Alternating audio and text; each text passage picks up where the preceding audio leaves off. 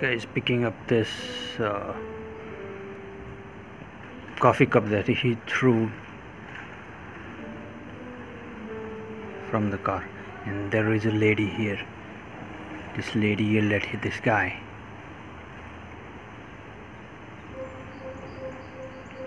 This lady here. He yelled at this guy. He had to come back and pick it up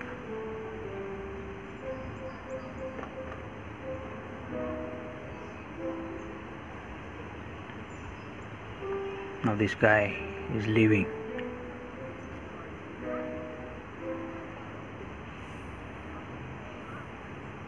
Yeah these two ladies are now discussing that thing. Thing happened.